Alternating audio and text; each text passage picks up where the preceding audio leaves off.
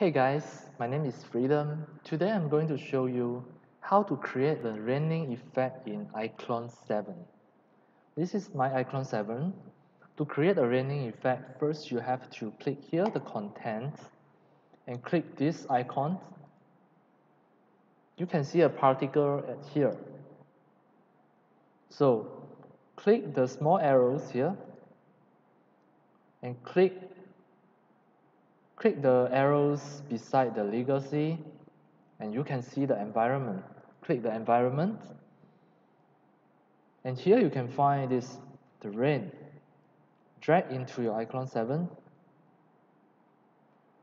So when you play, you can see this is a heavy rain. Right now I'm going to stop it. Check your scene and click this.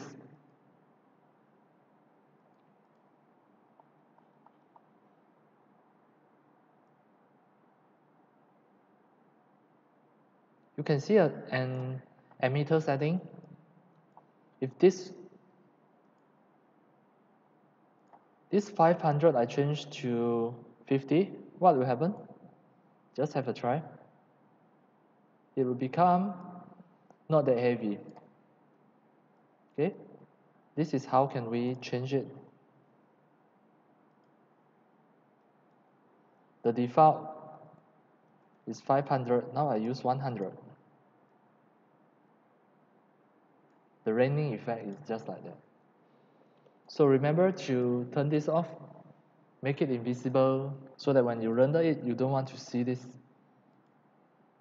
Okay, this one, you also can change location. But when you play with that, the raining is everywhere. So you no need to worry about the location as long as you just put there and make it invisible. And that's all for today for how to create raining effect in iClone 7. Thank you for watching. If you love my video tutorial, if you feel all these tutorials are very helpful to your 3D animation and game developing, you can subscribe to this YouTube channel and remember to turn on the mini bell and select all so that when next time I publish a new video tutorial, you receive the notification immediately. See you in my next video and, and let's have fun, enjoy and happy animations. See you.